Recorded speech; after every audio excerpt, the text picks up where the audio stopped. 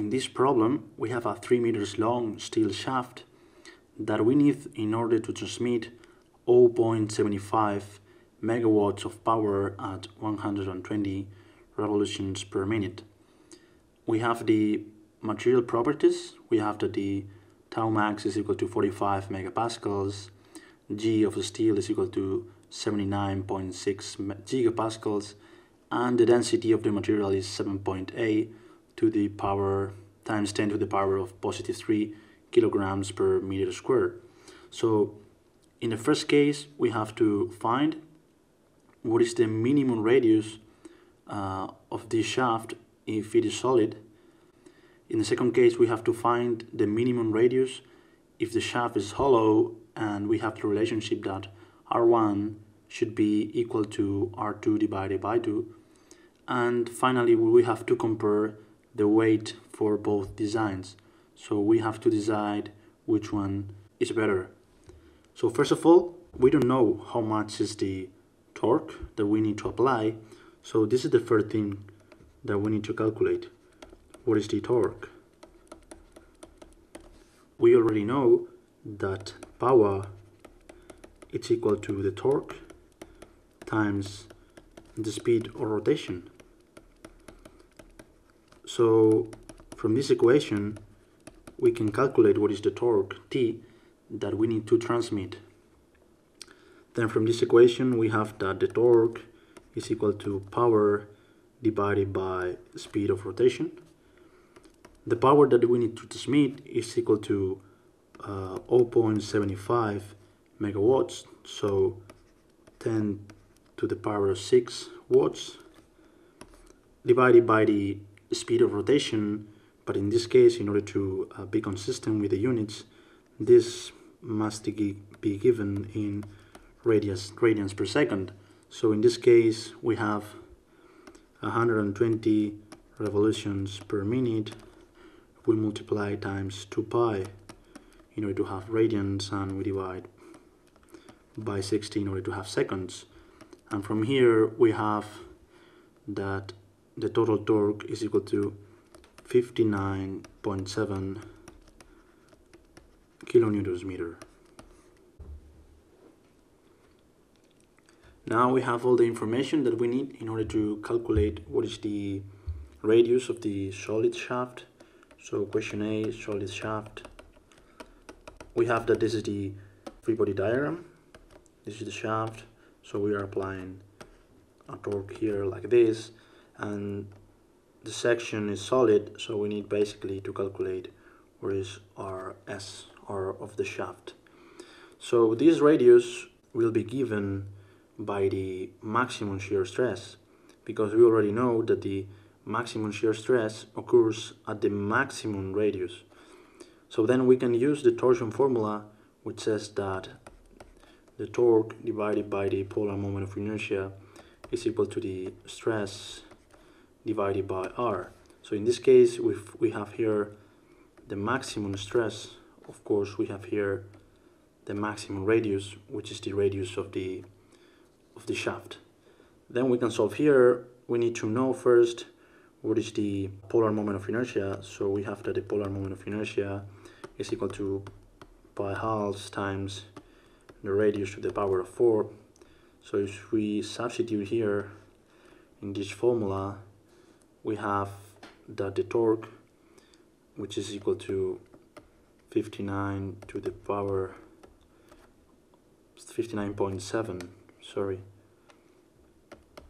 to the power of 3 divided by the polar moment of inertia pi halves times rs to the power of 4 is equal to the maximum shear stress that is given in the statement of the problem 45 to the power of 6 pascals divided by the radius of the shaft.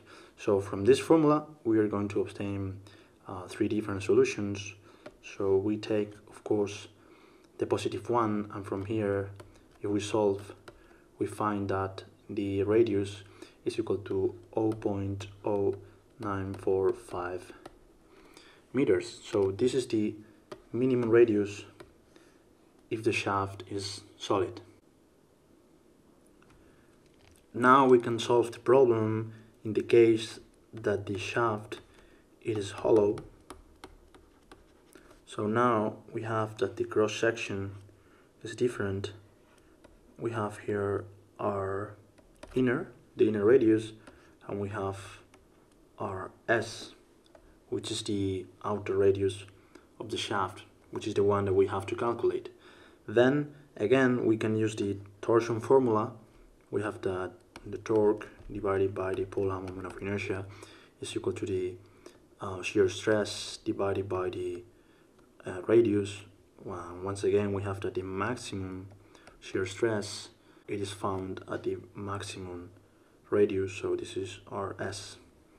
But in this case, uh, this formula remains the same, but uh, the polar moment of inertia is different. So we need to calculate what is the polar moment of inertia for this section and we have that uh, the polar moment of inertia is equal to pi over 2 divided by 2 uh, times rs to the power of 4 minus r inner to the power of 4 then now we need to have this equation only as a function of uh, rs so we can now use here uh, the relationship which says that um, the inner radius is equal to the radius of the shaft divided by 2 so if we apply this relationship here we have that this is equal to pi halves rs square minus rs divided by 2 so this is to the power of 4 to the power of 4 and if we uh, rearrange this equation and we calculate we have that this is equal to 1.473 R2 or RS sorry to the power of 4 so we can now substitute here this result and this is the equation that we have. We have again that the torque is equal to 59.7 times 10 to the power of positive 3 divided by this 1.473 times rs to the power of 4 and this is equal to 45 times 10 to the power of 6 divided by rs so now as we did before we can solve this equation. For s we take the positive result and rs is equal to 0.0966 meters. So this is the outer radius if the shaft is hollow and of course from this equation we can easily obtain that the inner radius is equal to the outer one divided by 2 so this is equal to 0.0483 meters.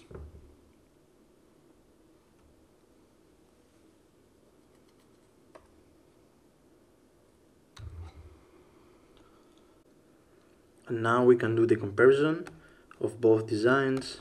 So we have here comparison. We can divide the weight of the hollow shaft by the weight of the solid one. So this is equal to the density rho times the volume and the volume is L times the area of the hollow shaft.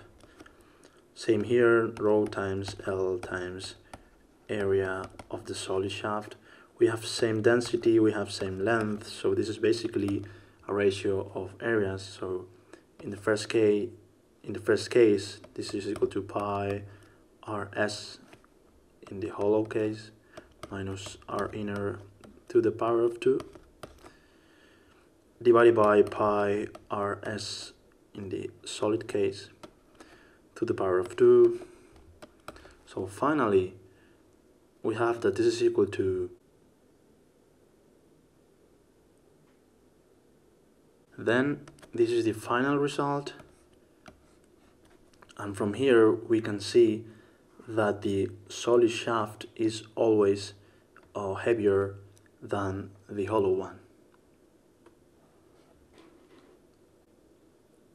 And this is something that we could expect because if you look at the torsion formula, we have that the maximum shear stress is equal to the torque times the radius, the, the outer one, divided by the polar moment of inertia. So for a given constant torque, this is a function of r and this is a function of r s to the power of 4 minus the inner radius to the power of 4. So basically what we, we have here, and of course the solid shaft is a limit case in which the inner radius is equal to 0.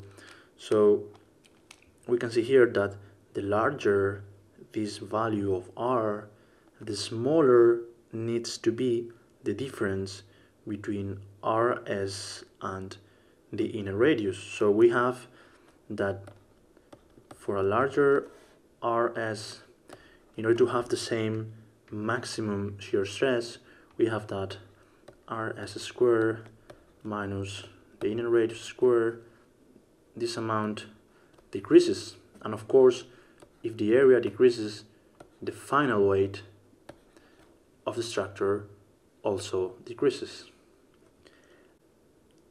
And from here we have the nice result that when the radius tends to infinity, the weight of the structure is equal to zero.